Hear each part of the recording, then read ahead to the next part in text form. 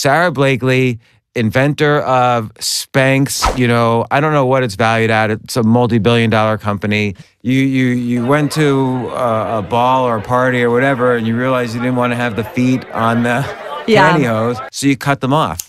Well, I didn't want panty lines. So really, Spanx started way before I cut the feet out of my pantyhose. You know, that's the soundbite everybody talks about. But I had been doing with through Wayne Dyer so much work on myself to prepare myself for that moment.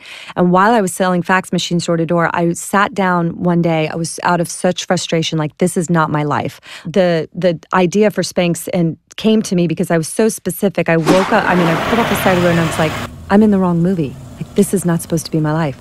Cut. Call the director, the producer. Like Did you cry? I cried all the time and I'd like listen to tapes to recenter my energy and get me self motivated again. And some days I'd go cold calling and I wouldn't even tell my boss, but I wouldn't go through a single door that day. Like I'd go sit in a park all day and then go back to the, because we always had to report back at five. But some days I just couldn't even get the courage to walk through a door. I sold fax machines door to door for seven years from 100% cold calling in Clearwater, Florida, where I grew up.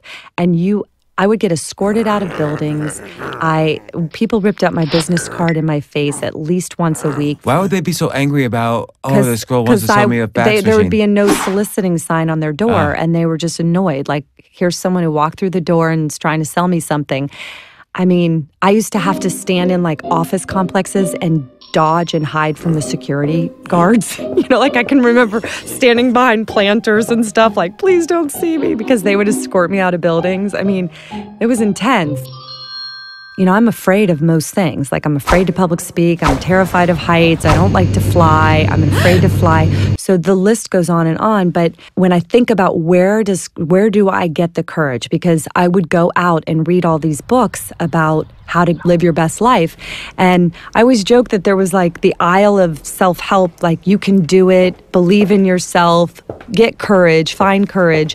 And then, but no one would tell you how. And then there'd be the aisle of from good to great. You know, once you've already got your business, here's how to make it bigger. But uh, there wasn't the aisle of like, but tell me how to get courage. For someone listening to this who thinks, oh my gosh, I can't accomplish what Sara Blakely has accomplished in her life, what would you say? What's what's kind of a way to kind of test this muscle a little bit? What can they face that they are, are afraid of today? So, my father gave me a super important gift growing up. He used to encourage me to fail.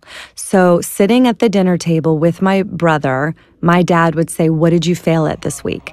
And if we didn't have something that we had failed at, he would actually be disappointed. And I can remember coming home from school and saying, Dad, Dad, I tried out for this and I was horrible. And he'd go, Way to go, and high five me. And that was so interesting because what he was doing was reframing my definition of failure. So, failure for me didn't become about the outcome, it became about not trying. So, the only failure for me feels like when I don't try something for, for fear. Like if I'm afraid to do it and I don't do it, then I've failed. If I do it and it doesn't turn out great or I make a fool of myself or I embarrass myself or whatever, that that's not the failure. It's almost like you you would lean into a failure to try to find the opportunity in it. completely. And and celebrating it because i mean obviously he was celebrating he wasn't celebrating lack of effort he was celebrating trying new things. I also seek out to embarrass myself so i often try to embarrass myself. And if too much time goes that i haven't embarrassed myself i can sense it in myself and i'm like i gotta do something embarrassing because it loses its power over me. So so again, someone listening to this, how can they today embarrass themselves? Well, just what are some There's ideas? a million ways to embarrass yourself. I'll sing in an elevator for no reason with other people in there, and my heart will be pounding, and everyone's like uncomfortable, and it's awkward and embarrassing. Or I will um, ask a really a question that I know really sounds quite stupid, but I'm curious about it and put myself out there. And I think when you let go of this need to sound smart and look smart, or free yourself up from all that, like really good things start to happen.